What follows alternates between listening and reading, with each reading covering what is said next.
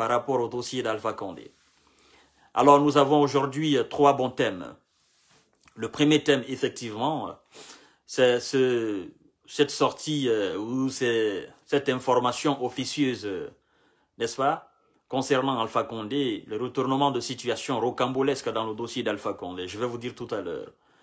Et nous avons comme deuxième sujet, comme vous-même vous, l'avez remarqué, je dis bien toute personne qui s'attaque justement à monsieur, son excellence, à monsieur CDD, la personne risque de finir très mal. Et un troisième sujet, vous verrez effectivement la déclaration de monsieur euh, euh, Amadou Damaro Kamara, l'ex-président de l'Assemblée d'Alpha Condé, qui affirme, je cite, « Nous continuerons de lutter pour la démocratie autrement et sans UFDG. » Donc, comme je le disais hier, c'est des choses qui commencent euh, à sortir. Mais nous allons revenir là-dessus. Vous allez me taguer ce monsieur Amadou Damaro Kamara, l'ex-président euh, de l'Assemblée euh, d'Alpha Condé, parce que je ne dirais pas l'ex-président de l'Assemblée guinéenne. Donc vous partagez au maximum, vous êtes 548, ça fait 553 partages déjà. Alors mesdames et messieurs, selon une langue euh, très confidentielle, selon une personne très confidentielle, très aussi précise, j'ai reçu l'information, euh, c'est quand même bizarre, sincèrement c'est quand même bizarre, d'accord? Je me dis, ce vieux, ce vieillard, Alpha Condé, n'a pas de limite. Et il se croit tellement malin, tellement orgueilleux, tellement obnubilé par ses convictions que euh, il se trompe sans se rendre compte. Vous savez, parfois, il faut écouter les bonnes personnes. Et il faut, il faut agir selon les conseils de ces bonnes personnes. Il ne faut pas toujours faire ce que vous avez envie de faire. Il faut savoir écouter et il faut savoir euh, fonctionner souvent selon les conseils euh, de vos, ok, des personnes euh, saines autour de vous. Alors, mesdames et messieurs, je vous ai dit qu'on n'a pas fini encore avec le dossier d'Alpha Condé. Alpha Condé, aujourd'hui, je ne dirais pas qu'il est devenu une sorte de fardeau, en République de Guinée. Je ne dirais pas qu'il veut faire un mauvais jeu au colonel Mamadi Doumbouya et au CNRD. Je ne dirais pas qu'il est animé par euh, une mauvaise intention. Il a toujours été animé par une mauvaise intention par le passé. Mais aujourd'hui, depuis son arrestation jusqu'à aujourd'hui, euh, euh, on n'a pas encore vu de réaction de lui, c'est-à-dire de réaction concrète, parce qu'il était à la tête de la République de Guinée. Il agissait comme un enfant. Et depuis qu'il est en résidence surveillée, Évidemment, on ne voit plus ces agissements si ce n'est pas à travers quelques langues qui se délient, effectivement. Alors, ce que j'ai envie d'abord de vous dire pour que vous compreniez, vous devez savoir que Alpha Condé communique. Ouais, il communique par des moyens euh, rudimentaires. Le colonel Mamadi Doumbouya le sait, les membres du CNRD aussi le savent, et euh, tas de personnes en Guinée aussi le savent. Alpha Condé, il communique. Donc, euh, soyez rassurés de cela mais euh, il est quand même surveillé, effectivement.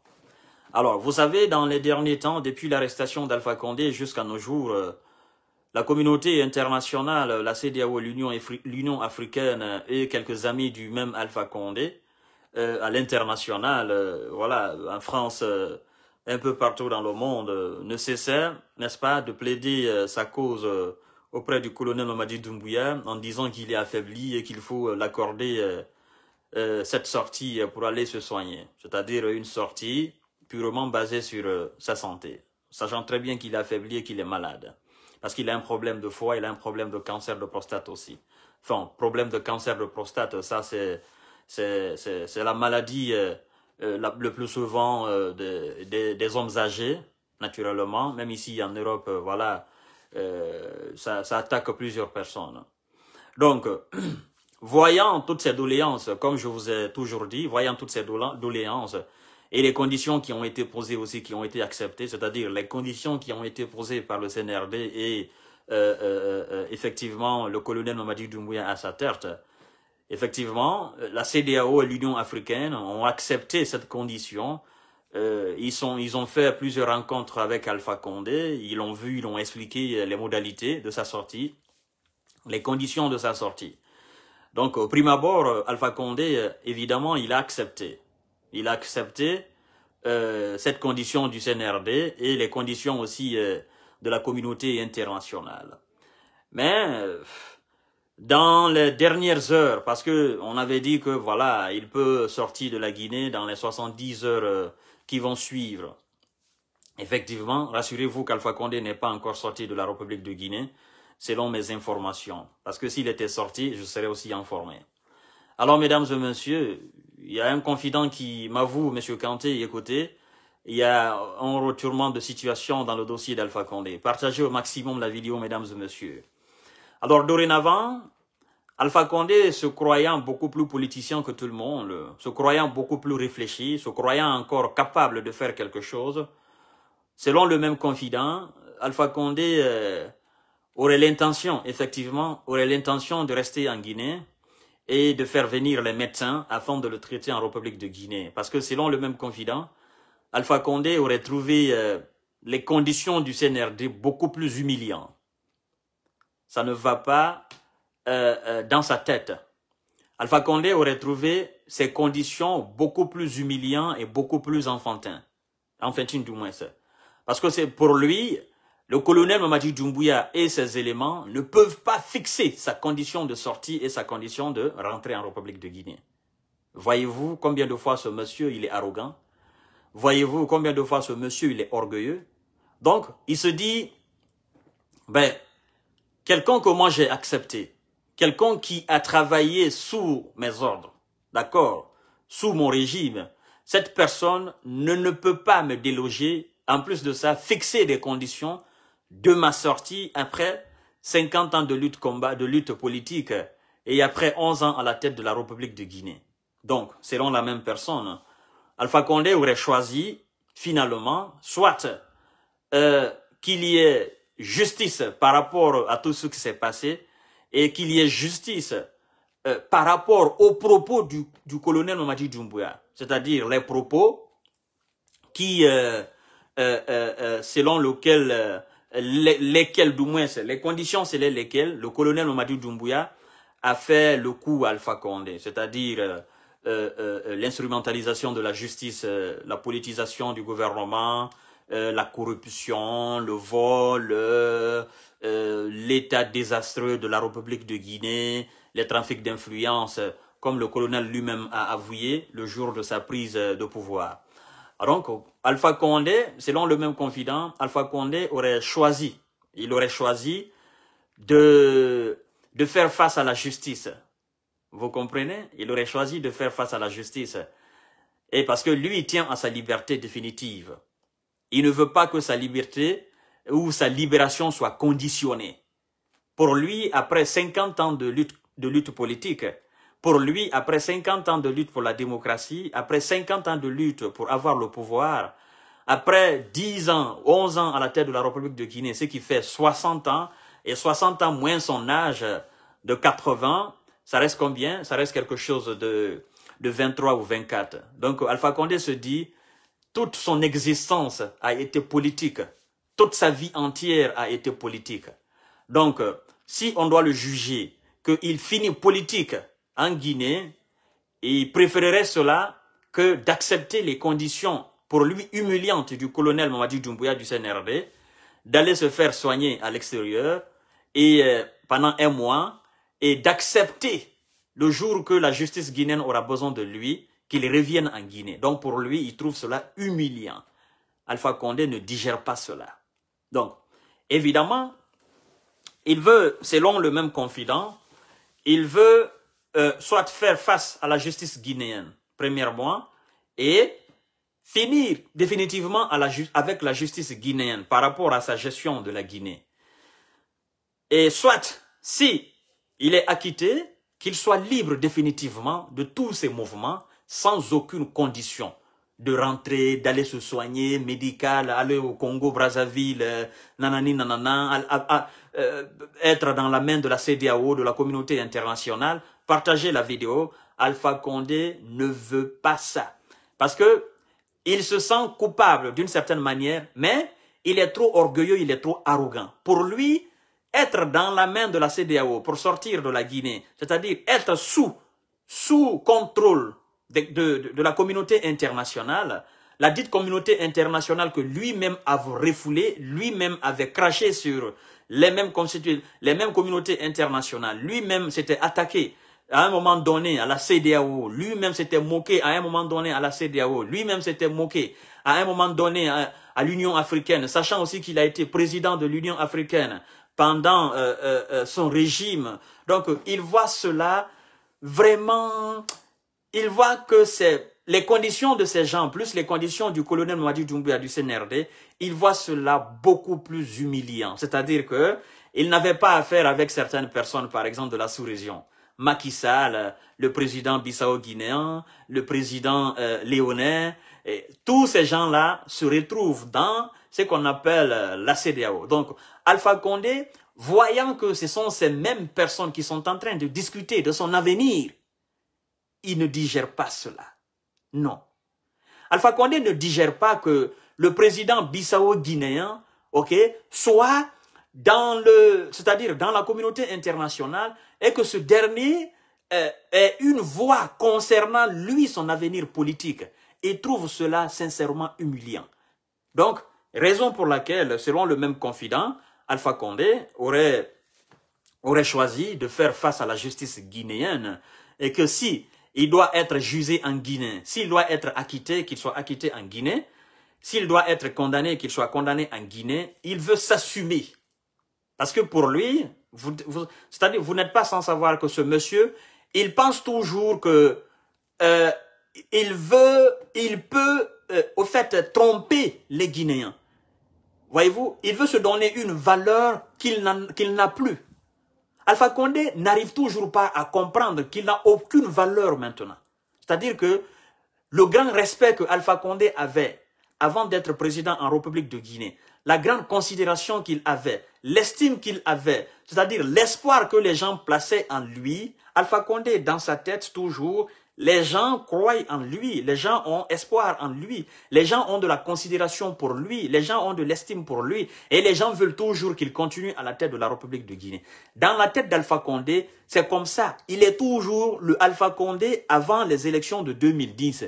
Il est toujours le même Alpha Condé avant la mort de Lansana Conté. Il est toujours le même Alpha Condé où euh, la, la, haute, la haute Guinée, toute, toute cette région, vaste région, était toujours derrière la même personne. Il pense avoir toujours l'estime de toute cette population de la Haute-Guinée et euh, des autres personnes qui ont adhéré euh, à son idéologie, qui ont cru à lui. Donc, il pense toujours que il est dans cette peau d'espoir de tous ces millions de personnes qui ont cru en lui dans un passé récent. Donc, il pense avoir une porte de sortie s'il fait face à la justice guinéenne soit qu'il sorte victorieux et qu'il se mette devant les gens pour dire, je vous ai dit, on m'a fait un coup illégal. Je vous ai dit, ceux qui sont là, ils n'ont pas raison. Et qu'ils se mettent, bien vrai qu'il ne peut plus danser la musique de la, musique du pouvoir, mais qu'ils se mettent quelque part à créer de, de l'incertitude dans la tête, soit des dirigeants du, du, du CNRD ou du président qui sera démocratiquement élu après naturellement le CNRD. Donc, euh, ce monsieur, je ne vous dirais pas qu'il constitue aujourd'hui un fardeau, parce que ce qui se passe, lui, dans sa pensée, et ce qui est sur le terrain en République de Guinée, ça fait deux choses. Nous autres, nous, nous avons déjà compris depuis longtemps. Voyez-vous, ceux qui n'avaient pas compris ont déjà compris qu'Alpha Condé a été euh, un désastre naturel pour la République de Guinée il a été, comme disait l'autre, une malédiction pour la République de Guinée. Donc, les gens ont compris cela, parce que nous, on avait déjà compris. Les gens qui n'avaient pas compris, ils ont, ils ont désormais, a déjà compris cela. Donc, Alpha Condé, il veut sincèrement, euh, euh, il se croit victime. Vous comprenez? Il se croit victime du coup du colonel Mamadi Doumbouya. Il oublie que lui-même, il a fait un coup à la République de Guinée. C'est-à-dire, tout ce que lui il a fait, il a oublié cela. Pour lui, ça c'était légal. Pour lui, ça c'était légitime. Pour lui, il avait le droit de faire cela. Parce que vous le demandez aujourd'hui, il vous dira la constitution me permettait de changer la constitution et effectivement de doter la Guinée d'une nouvelle constitution. Il va vous sortir ces jeux de droit, euh, nanani nanana, le colonel n'avait pas le droit. À partir du moment où on a mis une nouvelle république en place, j'étais maintenant légitime. Hein, j'étais légitime à me présenter pour ma propre succession. Donc, il va vous sortir ces verbes-là. Sauf que, sauf que, il se trompe. Il se trompe euh, euh, en oubliant qu'il a marché sur des cadavres en Guinée, en oubliant qu'il a assassiné le peuple de Guinée, en oubliant qu'il a fait tellement de victimes que le colonel Mamadi Doumbouya en a fait. Vous comprenez? Donc, il se croit victime euh, des militaires. Et il pense que aller au procès devant la juridiction guinéenne, qu'il a une porte de sortie. Donc, Alpha Condé ne voit pas ce que ses pairs de la CDAO et de l'Union africaine et des diplomates internationaux en Guinée voient. C'est-à-dire, il n'est pas sous la même longueur d'onde que ces gens-là. Ces gens-là, ils veulent le sauver la peau parce qu'ils savent qu'il est avancé en âge.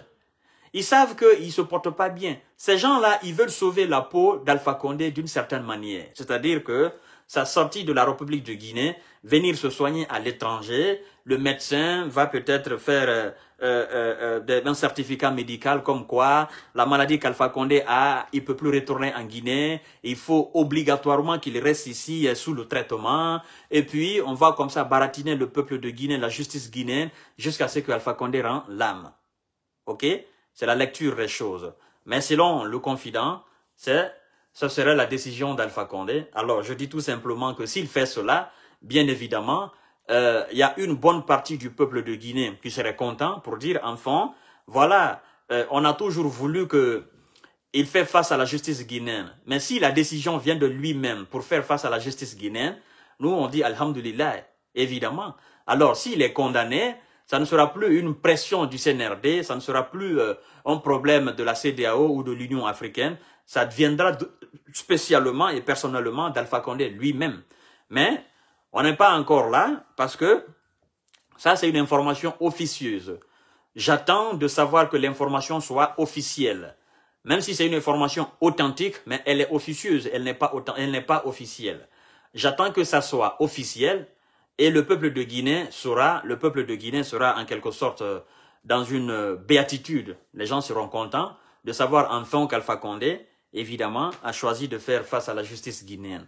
Et, vous savez, j'entends quelques personnes dire que si le colonel Mamadi Doumbouya le CNRD laisse Alpha Condé sortir, alors évidemment qu'ils doivent aussi accepter de laisser euh, les Tibou Kamara et tous les cadors euh, du régime Alpha Condé aller se faire soigner, évidemment. Voilà, ça c'est une logique euh, de certaines personnes. Mais ce que vous devez comprendre, Alpha Condé en tant que chef, ancien chef, ancien président, bien vrai qu'il ait été un mauvais président, mais il a quand même été un président de 2010 jusqu'en 2020. En tant qu'ancien président, c'est comme ça partout dans le monde entier. Les anciens présidents ont un certain privilège que, les ministres ou euh, les anciens présidents euh, n'ont pas le même statut que le citoyen lambda. Vous devez comprendre cela. OK? On me dira, oui, euh, à partir de 2020, il n'était plus président de la République de Guinée. Oui, même si à partir de 2020, il n'était plus président légalement et légitimement président de la République de Guinée, mais il reste toujours un ancien président de la République de Guinée. Donc, quand on parle d'Alpha Condé, l'ancien président de la Guinée, on se réfère, c'est-à-dire de ces deux mandats entre 2010 et 2020, même si effectivement ces mandats ont été aussi des mandats volés, c'était des élections organisées euh, sur la fraude, Oh, mais il reste toujours euh, euh, euh, un ancien président. Donc, en tant qu'ancien président, Alpha Condé n'a pas les mêmes privilèges que Kassori Fofana. Alpha Condé n'a pas les mêmes privilèges que Tibou Kamara. Alpha Condé n'a pas les mêmes privilèges que Mohamed Djane, évidemment. Et je vous rappelle que s'il venait à sortir, s'il venait à désister à ce choix, c'est l'homme mon confident que Alpha Condé veut rester, s'il venait à désister et qu'il venait à comprendre qu'il ne peut plus danser la musique du pouvoir et que la nécessité d'aller se faire soigner et d'aller rester dans un lieu beaucoup plus calme jusqu'à ce que euh, la mort euh, l'emporte ou bien jusqu'à ce que la justice guinéenne ait besoin de lui, ben, ok, vous devez, le peuple de Guinée doit comprendre que oui, ça c'est une décision aussi euh, qu'on doit saluer, évidemment. Alors, j'ai entendu aussi beaucoup de personnes dire, Mais Alpha Condé, s'il sort euh, alors qu'il n'essaye absolument rien. Évidemment, si Alpha, Condé doit essayer quelque chose, ça sera en République de Guinée. Alpha Condé, à sa sortie, après sa sortie pour euh, se soigner, s'il venait à sortir, s'il venait à renoncer, c'est-à-dire euh, à la première décision que je viens, que je viens de communiquer, évidemment, s'il venait à désister cela et venait à sortir, évidemment, sachez très bien qu'Alpha Condé ne pourra absolument plus rien contre la République de Guinée. Parce que vous n'êtes pas sans savoir que la communauté internationale est quand même devant. Et la communauté internationale va suivre les mouvements, les gestes et mouvements d'Alpha Condé à la lettre. Sachant très bien que c'est un être maléfique et quelqu'un qui est animé par euh, des esprits un peu démoniaques. Parce qu'il faut vraiment être animé par un esprit démoniaque pour euh, passer 50 ans de lutte politique, avoir le pouvoir, passer 10 ans au pouvoir et s'exprimer toujours comme un opposant ou se qualifier toujours, se considérer toujours comme un opposant, avoir des propos sincèrement incendiaires, des propos inacceptables dans un pays de droit, dans un pays de justice, des propos euh, euh xénophobes, des propos euh, d'ethnostratégie. Euh, voilà, quelque part, on se dit que, évidemment, Ahmed Sektouré, certainement, il a été dictateur, oui, on est d'accord, il a été un dictateur sanguinaire, je l'avoue, sans, sans embâche et sans équivoque. Évidemment, Alpha, Ahmed Sektouré a fait beaucoup de choses qui sont discutables. S'il était aujourd'hui encore vivant et qu'une justice était organisée pour faire euh, la lumière, pour apporter la lumière euh, concernant euh, sa gestion de la République de Guinée, évidemment, il sera inculpé. Et si Lansana Conté aussi était vivant, qu'on avait fait justice naturellement, il serait aussi inculpé parce que c'est des gens qui nous ont conduits dans cette forme de gestion opaque en République de Guinée. Alors, euh, même si on reproche des choses à Ahmed Sektouré et à Lansana Conté, moi je me dis que Ahmed Sektouré avait bel et bien raison de condamner Alpha Condé. Le condamner à mort par contumance dans les années 70. Je trouve aussi que M. Lansana Conté avait bel et bien raison, n'est-ce pas, pour la condamnation d'Alpha Condé dans les, dans les années 2000. Voyez-vous? Donc, euh, si on fait une rétrospection naturellement du parcours d'Alpha Condé de sa lutte soi-disant démocratique, de la lutte politique, on constate que effectivement, tous ceux qui ont eu à condamner Alpha Condé, ils avaient raison. La preuve en est que il est aujourd'hui condamné, il a été condamné par le colonel Nomadi Doumbouya parce que c'est une forme de condamnation. Le fait de l'avoir délogé et de le maintenir en résidence surveillée, c'est une forme de condamnation, même si justice n'est pas faite, mais c'est une forme de condamnation. C'est pourquoi je ne, je ne cache pas effectivement euh, cette affirmation en disant qu'Alpha Condé, c'est un prisonnier éternel. Évidemment, vous devez comprendre cela. Parce que si jusqu'à présent, la justice qui a été lancée derrière Alpha Condé, depuis dans les années 70, c'est la même justice guinéenne qui a poursuivi Alpha Condé en 2000. Et c'est la même justice guinéenne qui est en train de réclamer toujours Alpha Condé. Donc, moi, je me dis sincèrement, en tant qu'observateur de la scène politique guinéenne, de l'évolution de la Guinée, de la situation géopolitique guinéenne, je me dis que si la Guinée s'était dotée d'une justice véritable, sans équivoque, d'une justice impartiale, d'une justice vraiment travailleuse qui tranche euh, et qui incrimine, les criminels et euh, les personnes malsaines, il y a longtemps, Alpha Condé serait en prison. Oui, il y a longtemps, il serait en prison. Parce que, je ne vais pas vous cacher cela, mesdames et messieurs. Écoutez certains collaborateurs d'Alpha Condé, des années 70, des années 80, euh, des années 2000, jusqu'à aujourd'hui, quand vous les écoutez, vous avez l'impression d'être trahi à un moment donné de votre vie, ceux qui ont cru Alpha Condé. D'accord? Et ceux qui voyaient Alpha Condé comme un espoir, vous avez l'impression d'être trahi. Parce que quand ces gens-là parlent d'Alpha Condé, ils ne retirent pas, c'est-à-dire, euh, ils ne dissocient pas Alpha Condé de sa condamnation de, de, de, 1970. Ils ne le dissocient pas aussi des événements de, de, de, 2000, la rébellion. Vous comprenez? Ils ne le dissocient pas aussi du fait qu'il a mal géré la Guinée. Donc on se dit que c'est lui qui a sincèrement dit, le journaliste la fois dernière qui a dit que Alpha Condé a été une malédiction pur et dur, pur et simple euh, de la République de Guinée, en République de Guinée du moins, le monsieur, il n'a pas menti. J'ai vu après des commentaires des gens qui se sont attaqués à ce journaliste. Je me dis, mais écoutez, ce qu'il a dit, c'est vrai. Même si le terme est beaucoup plus euh, lourd, mais c'est le thème qu'il faut. C'est le thème qu'il faut pour qualifier Alpha Condé. Que ça plaise certaines personnes ou pas, mais c'est ça la vérité. Alors, mesdames et messieurs, on attend voir que la décision euh, de ce même mythomane soit une décision officielle. Donc, euh, si Alpha Condé venait à passer une semaine en République de Guinée sans sortir, vous devez comprendre que il est encore en train de, de se décider. Est-ce qu'il doit sortir?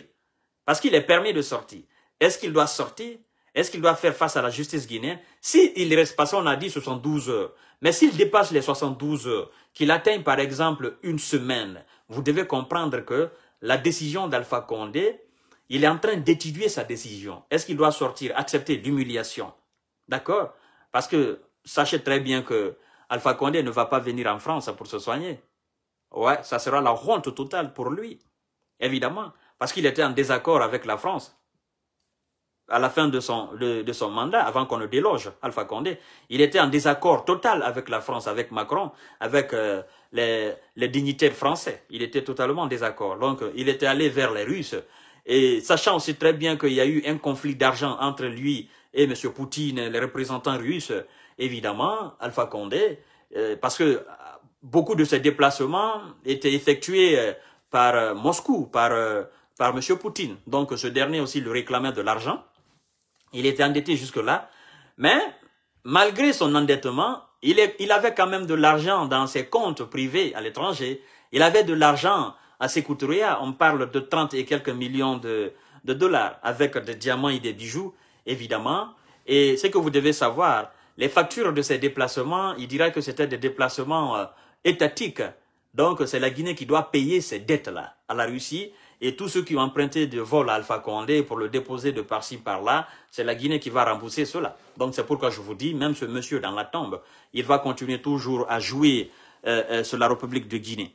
Alors, mesdames et messieurs, il ne peut pas venir ici euh, en France, encore moins en Allemagne, parce que la France est un allié. La France et les Allemands sont des alliés des États-Unis, évidemment, du monde occidental. Alors c'est pourquoi on cite souvent le nom de Turquie. Turquie, ben évidemment, facilement pour lui, il peut déplacer un médecin français, aller se soigner en Turquie. Mais venir en France, ça sera la honte pour lui. Et c'est pourquoi, euh, à la fin de son, de son régime, il avait une certaine relation euh, euh, euh avec M. Erdogan de la Turquie. Il a même invité Erdogan en Tur à Conakry. Vous avez bien vu ces choses-là. C'est pourquoi on parle de Turquie, on parle aussi de Congo-Brazzaville, qu'après Turquie, il ira en Congo-Brazzaville. Mais Alpha Condé ne veut pas sortir de la Guinée, c'est la vérité. Il ne veut pas sortir de la Guinée. Parce que pour lui, sortir de la Guinée, de cette manière, c'est la honte totale pour un vieux qui a passé, qui a consacré toute son existence sur la lutte politique. Soit il veut rester en Guinée, faire face à la justice guinéenne, ou soit il veut rester en résidence surveillée jusqu'à sa mort. Voilà. Donc, mais la décision finale aujourd'hui le revient parce que le colonel a donné son accord. La communauté internationale aussi euh, a donné son accord. Et s'il doit sortir, il, doit sortir, il va sortir dans la main de cette même communauté internationale. Ce qui est pour lui quelque chose de franchement euh, inacceptable.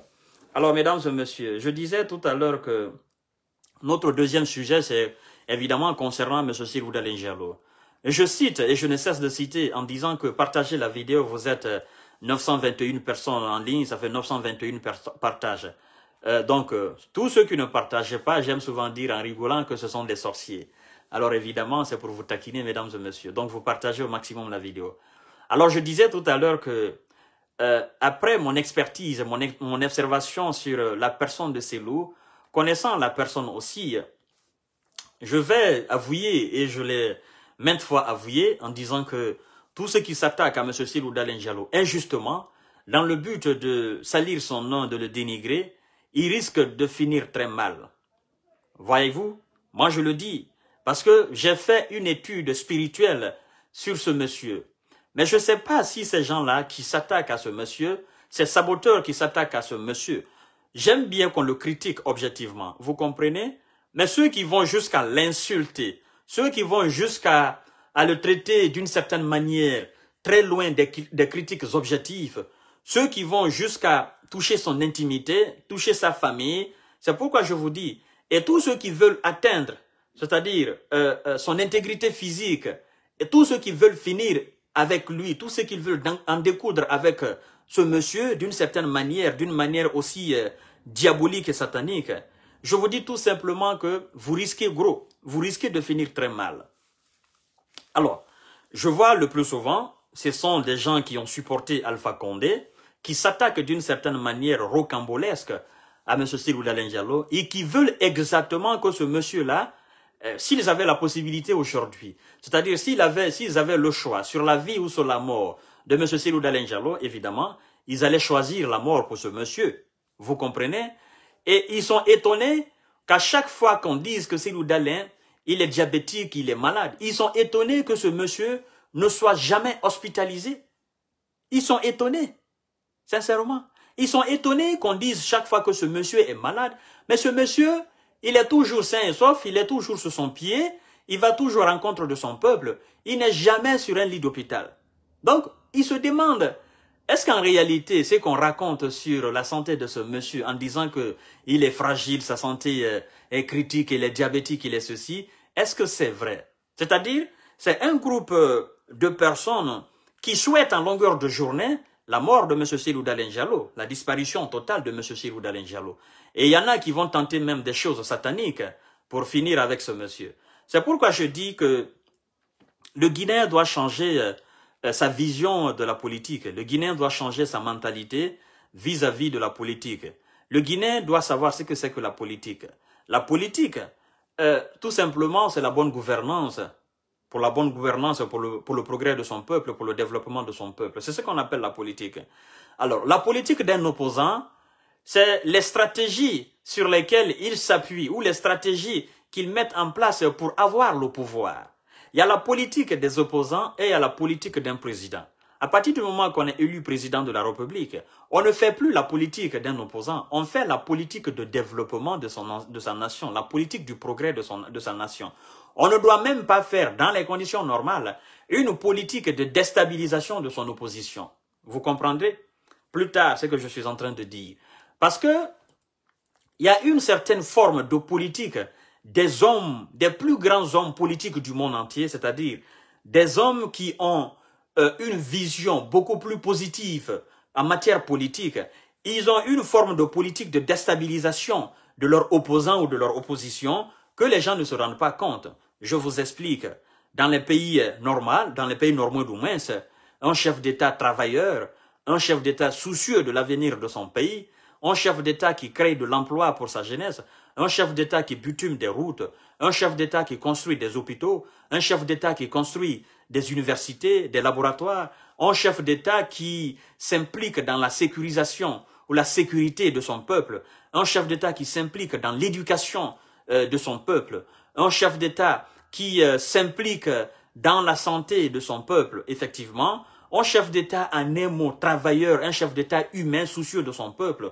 Ce chef d'État, sur ce chemin, il n'a pas besoin de rajouter une autre politique de déstabilisation de son opposition. Parce qu'à travers sa politique, sa bonne politique de gouvernance, effectivement, la jeunesse se trouve avec lui. Parce qu'il emploie la jeunesse.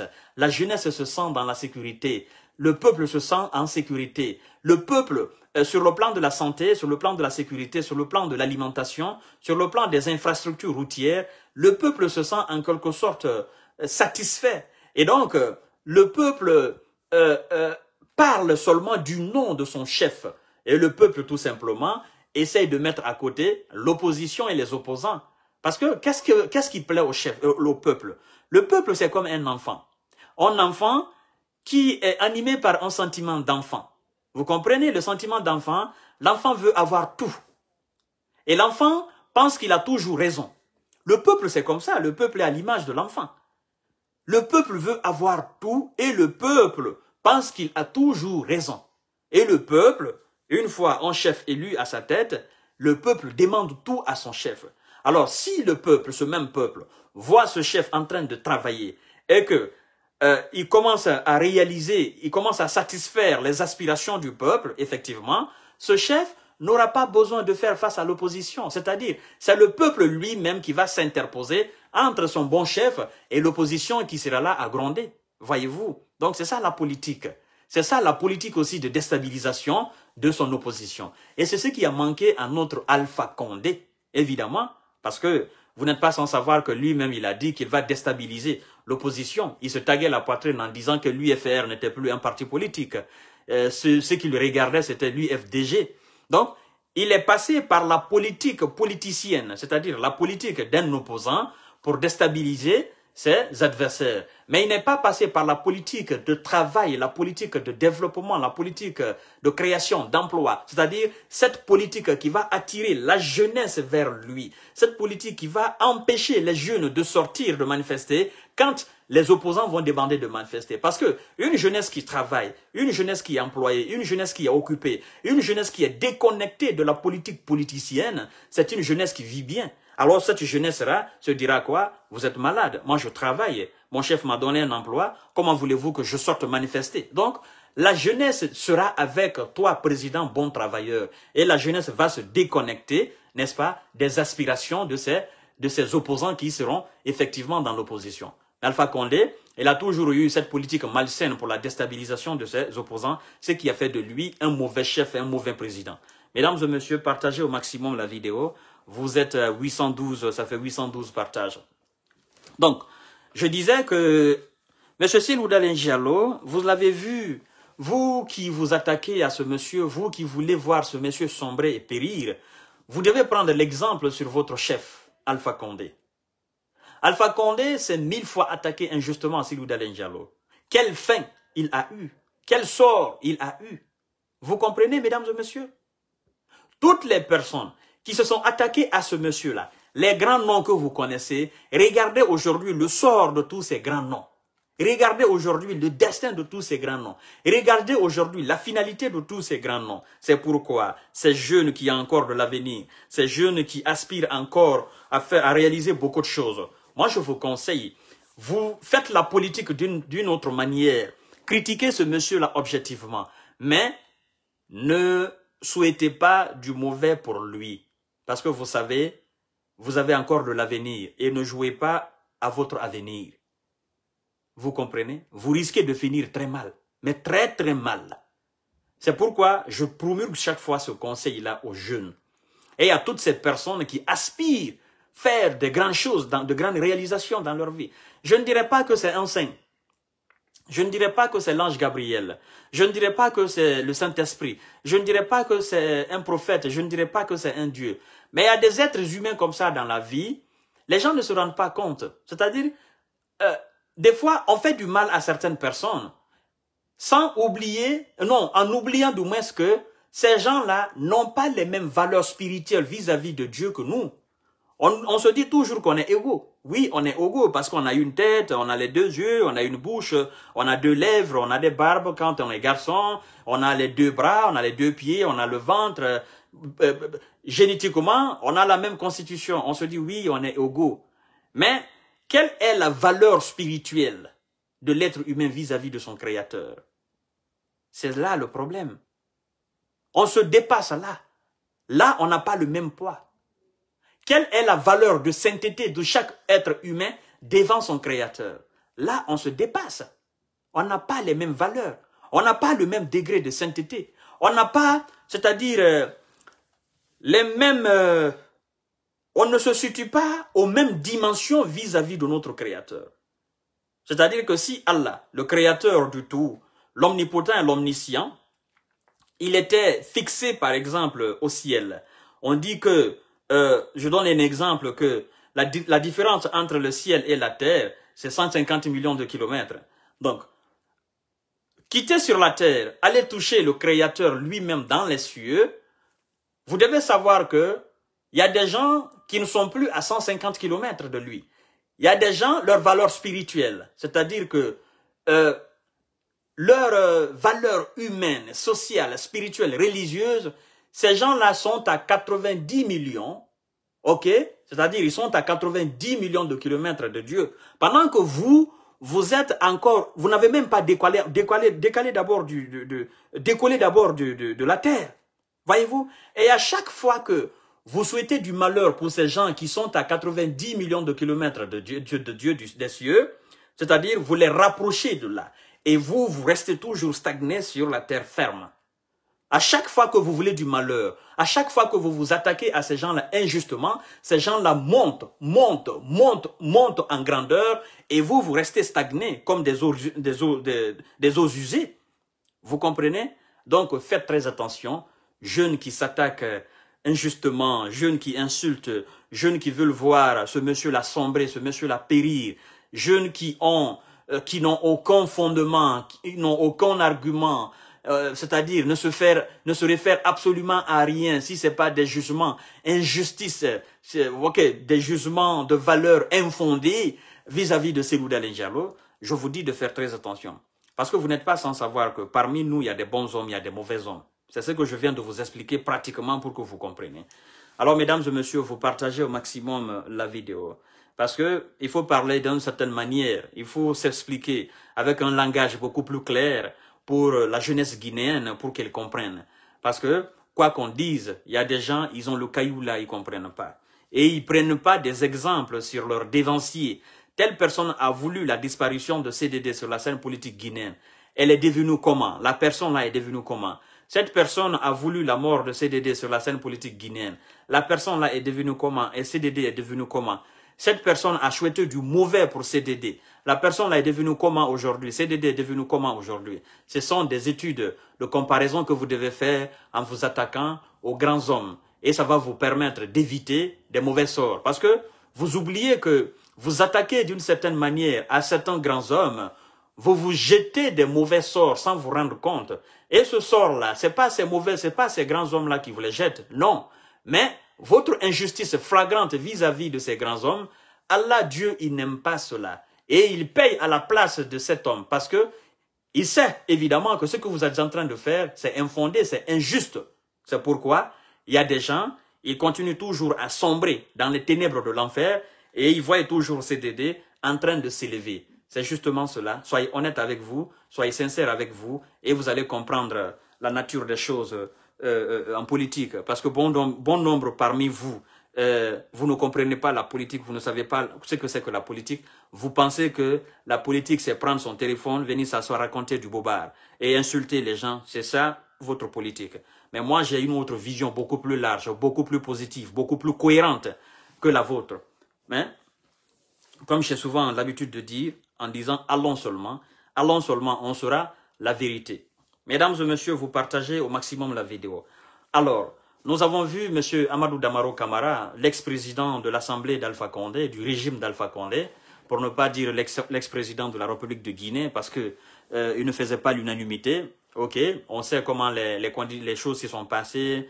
Ok, la mise en place de cette assemblée, on sait comment ça s'est passé. C'est pourquoi je ne me permettrai jamais de dire le président de l'assemblée guinéenne. Je dirai toujours le président du régime d'Alpha Condé et d'Alpha Condé. Alors, ce sont les mêmes personnes. Alpha Condé, et, ces caciques, ils sont dans la même logique. Mais vous savez ce qui est dommage? Taguez-moi Amadou Damaro Kamara, s'il vous plaît.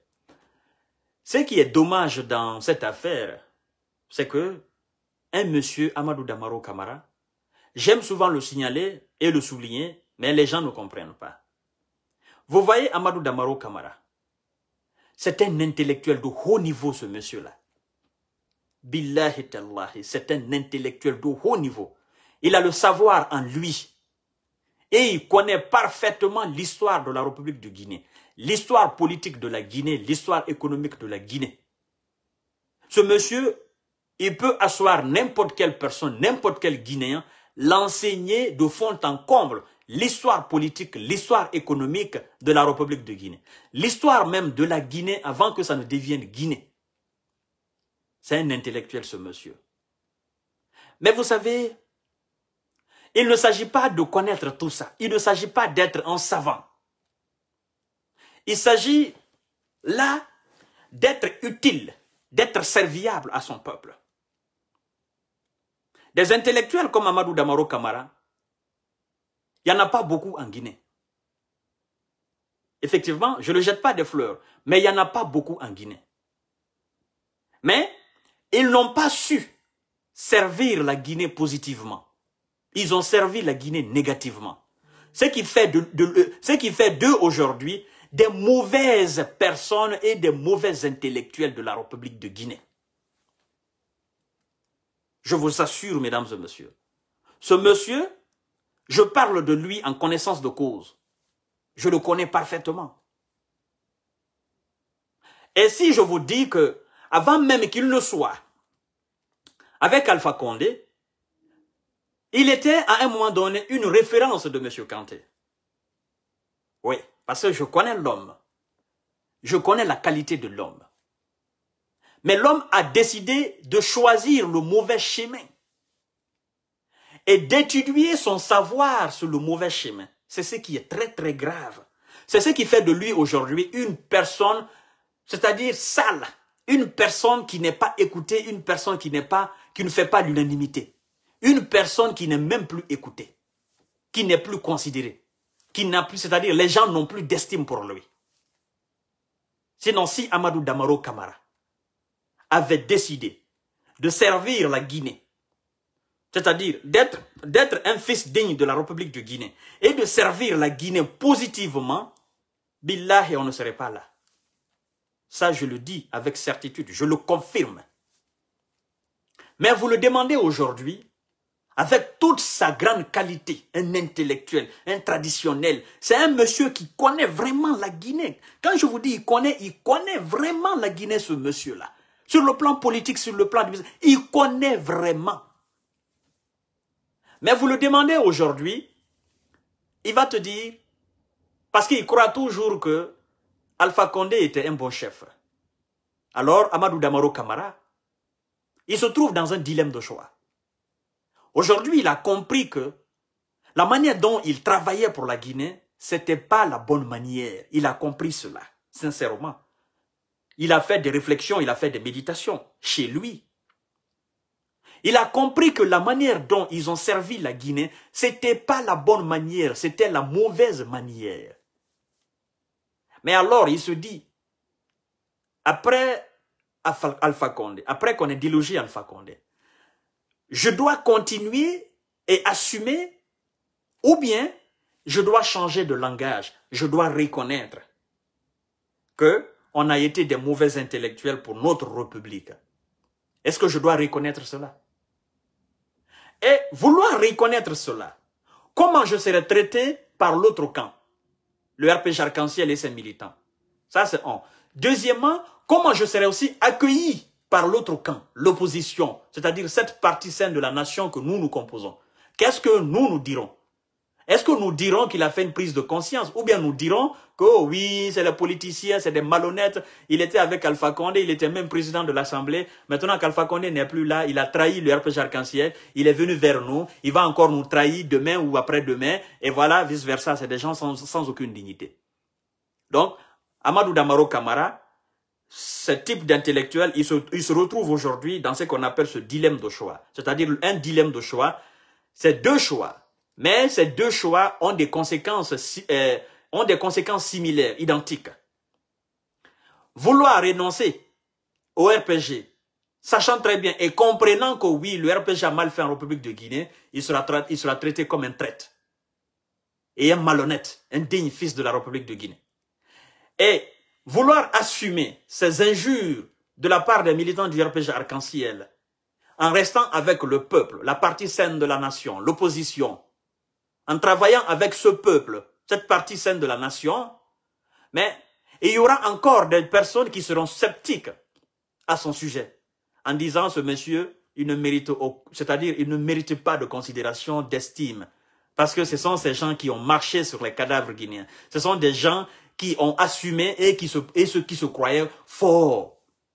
Ils ont pensé qu'ils étaient, ils étaient dans une logique vraiment euh, indéfectible et qu'ils avaient raison. Donc, Amadou Damaro Kamara doit comprendre qu'il a trahi des milliers de jeunes. Il a trahi des milliers de jeunes à travers son acte. Il me dira encore, oui, monsieur Fama Kanté, vous devez comprendre qu'on était avec le chef. On était obligé de composer avec. Non. Les mêmes choses qu'on a reprochées au ministre de l'Ansana Kanté en disant pourquoi ils n'ont pas démissionné. Vous savez, c'est les mêmes, c'est les mêmes choses qu'on vous reproche aujourd'hui et qu'on continuera de vous reprocher en disant, mais pourquoi vous n'avez pas démissionné? Vous aviez le choix de démissionner, mais vous n'avez pas démissionné. Vous aviez préféré vendre votre dignité en protégeant Alpha Condé. Voyez-vous, c'est la même chose qu'on va, qu'on va toujours le reprocher. Évidemment, à un moment donné de la vie, il faut assumer.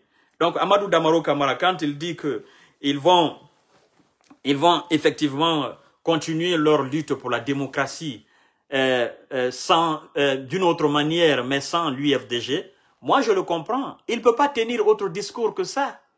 Parce qu'il est dans une bulle, il est dans une sphère, une sphère roulante. Vous comprenez? Une sphère qui roule, qui tourne à 180 degrés ou qui tourne à 380, 360 degrés, de vitesse, si vous voulez. Donc il est dans cette bulle, il est dans cette sphère-là. Sinon, wallahi billahi tallah, ce monsieur, c'est un intellectuel. Ce monsieur, il est calé. Ce monsieur, sa tête est remplie. Il a le savoir en lui. Mais ce savoir, ils l'ont très mal exploité. Dommage pour la République de Guinée. Dommage vraiment. Billahi. Dommage. Wallahi, dommage. Sinon, ce sont les cadres guinéens qui sont devant vous comme ça. Les Amadou Damaro Kamara, les Kassouri Fofana, les Mohamed Diané. Ce sont des cadres. Ce sont des intellectuels, ce sont des gens qui ont le savoir en eux. Ce sont des gens qui ont bu le savoir, qui ont étudié, qui ont fait des hautes études et qui connaissent l'administration guinéenne, qui connaissent l'histoire politique de la Guinée. Qui, s'ils avaient choisi le bon chemin, Wallah, ils, seraient des exemples éternels. Mais ils ont refusé de faire cela. C'est pourquoi ils sont décriés aujourd'hui un peu partout. Donc, moi je comprends Amadou Damaro Kamara. Il peut rien faire autre que ça. De toutes les façons, il se dit, je suis vieux. Est-ce que je dois, j'ai quel âge maintenant? Maintenant, peut-être 70 ans et quelques. Est-ce que je dois me faire ridiculiser encore euh, par mon peuple? Ou je dois rester dans mon camp? Voilà, continuer ce combat, même si je ne crois plus à l'avenir de ce combat, même si je ne crois plus euh, qu'on reviendra un jour au pouvoir.